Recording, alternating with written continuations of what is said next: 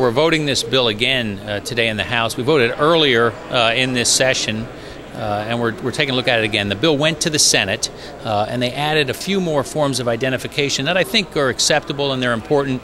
Uh, there's military ID and uh, IDs that are issued for state institutions, accredited state institutions, as well as elderly care homes. so they're all additional forms of identification that can be used in the process of trying to make sure the people that are going to the polls are actually who they say they are uh, and we're trying to crack down on some voter fraud.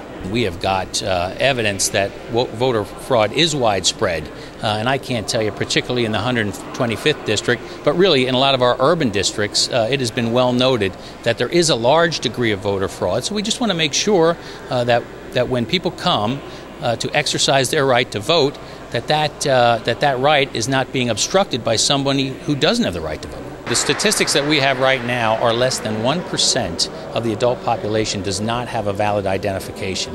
Uh, so, number one, it is a very small group of people. Number two, uh, we, particularly in our office, and I know the office of many other representatives, are going to make it available to our constituents to assist them in getting IDs. So, really, as a matter of public safety and doing business in the Commonwealth and getting the services that many of us need and depend on, you ought to have an ID. So, I'm happy that we're going to help people get an ID through this process, maybe make pe people a little bit safer, and again, protect the right to vote.